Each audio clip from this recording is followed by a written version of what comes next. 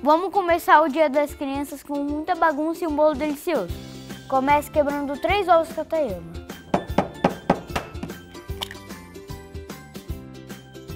Esses ovos são um tipo grande branco. Tem esse selinho aqui.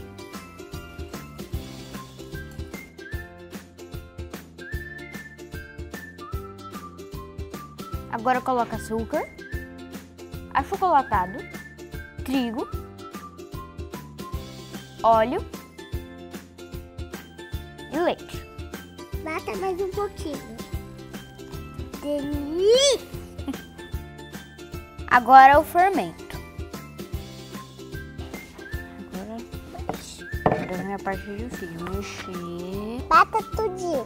bata tudinho. Quebra no canal, ative sem nem, pra nem perder uma receita nova da Katayama. E também deixe seu like. Coloque uma assadeira untada com manteiga e achocolatado.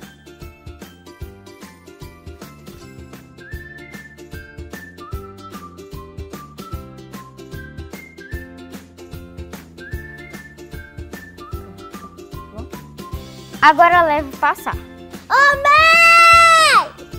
Aí você pede pra mamãe ou pra vovó fazer uma calda bem deliciosa.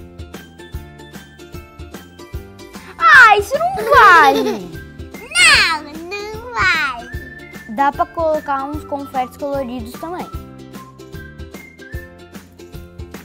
Nossa Senhora.